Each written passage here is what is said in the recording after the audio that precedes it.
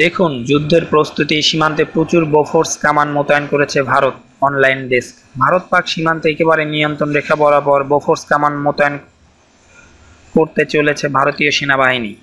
ভারতীয় সেনাবাহিনীর দুই সেনা সদস্যের মুন্ডুচ্ছেদ হওয়ার পর এমন চরম সিদ্ধান্ত সেনাবাহিনীর তরফ থেকে নেওয়া হয়েছে বলে জানা গেছে। আর সেনাবাহিনীর এমন সিদ্ধান্তকে যথেষ্ট গুরুত্ব দিয়েই দেখছেন সামরিক বিশ্লেষকরা। জানা গেছে, রাজগৌরী থেকে পুঞ্চ পর্যন্ত নিয়ন্ত্রণ রেখা বরাবর বেশ কিছু জায়গায় ভারতীয় সেনাবাহিনীর পক্ষ থেকে বফোর্স কামান মোতায়েন করা হচ্ছে। শুধু তাই নয়, কিছু জায়গায় ছোট কামানও মোতায়েন করা হচ্ছে।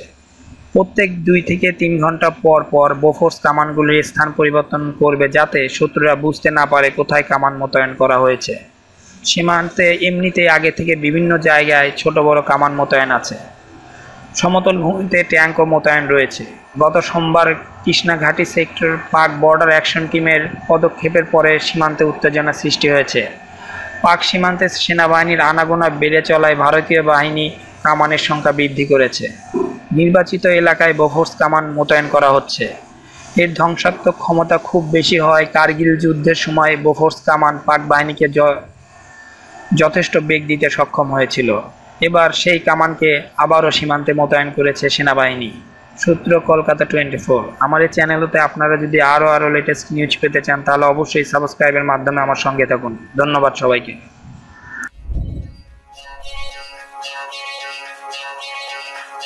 you.